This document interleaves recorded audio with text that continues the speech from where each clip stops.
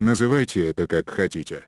Зазеркалье, разрыв шаблона, театр абсурда или сюрреализм. РФ продает Украине комплектующие для военной техники, чтобы Украина воевала с войсками РФ на Донбассе. Дмитрий Тимчук заявил, украинская армия завязана на советской технике, а заменить ее сейчас невозможно из-за колоссальных затрат. Украина вынуждена в обход запретов продолжать покупать российские комплектующие для военной техники заявил народный депутат от Народного фронта Дмитрий Томчук в интервью Апострофу. Есть выход, либо закупать в России, либо нигде. Нигде. Это означает, что ту технику, которая сейчас выходит из строя во время боевых действий, можно не ремонтировать, ремонтировать нечем, нет комплектующих, сказал он.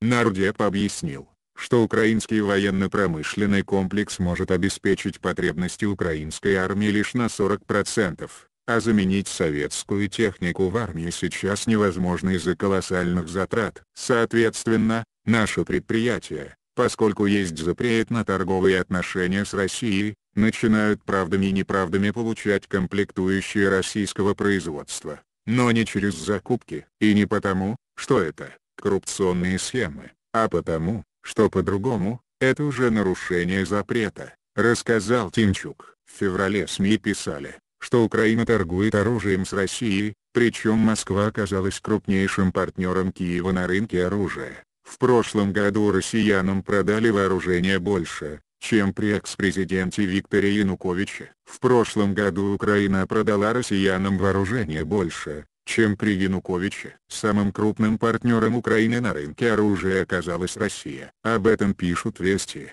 ссылаясь на доклад Стокгольмского института исследования проблем мира. В исследовании говорится, что в 2016 году Украина экспортировала в Россию военных товаров на сумму 169 миллионов долларов. Примечательно, что за прошлый год объемы поставок в РФ выросли на 72% и стали больше, чем во времена президентства Виктора Януковича. В документе говорится, что главным партнером России в Украине является предприятие «Мотор Сич», которое поставляет двигатели для российской авиации.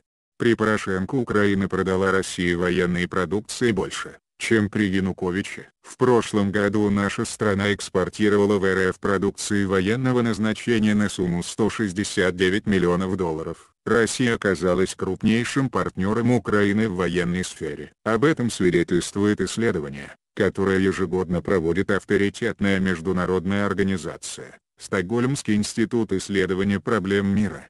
По последним данным СИПРИ, которые есть в распоряжении вестей, в прошлом году Украина экспортировала в РФ продукции военного назначения на сумму 169 миллионов долларов. Именно россияне стали крупнейшими покупателями товаров украинского вооружения. Даже на поставках отечественных танков оплот Таиланду наша страна заработала меньше. Всего за год объемы поставок в Россию выросли на 72% и оказались выше, чем во времена президентства Виктора Януковича. Согласно докладу СИПРИ, крупнейшим партнером россиян в Украине является Мотор Сич, который поставляет нашему восточному соседу двигатели АИ-222.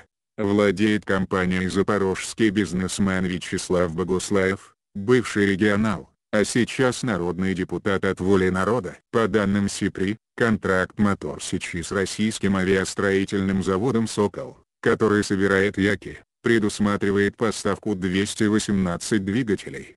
Украинские авиационные моторы устанавливаются на Як-130, российские легкие штурмовые самолеты, на которых обучают военных летчиков, в том числе поражать наземные цели.